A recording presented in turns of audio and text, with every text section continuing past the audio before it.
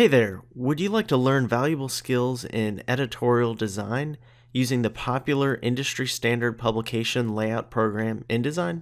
These are just a few of my university students' magazines created in a class I've been teaching for about eight years called Magazine Design and Production.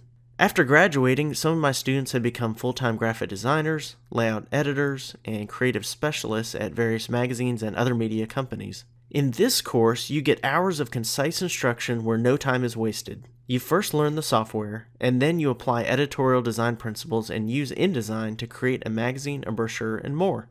You can use the knowledge and skills you gain from this course to create your company's annual report. You could work toward becoming an editorial designer, or you could create your own ebook to sell through Amazon. You could also produce your own magazine to share online through third party sites or sell them through services like Apple's online store. You could also design posters, flyers, advertisements, or other promotional materials as a freelancer. My name's Chad Neuman, and I've worked as managing editor at two graphic design magazines.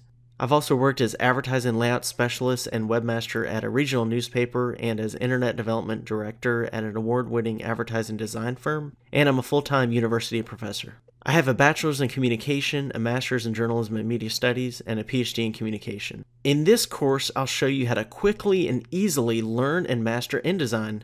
So enroll now and let's get started learning by doing in InDesign.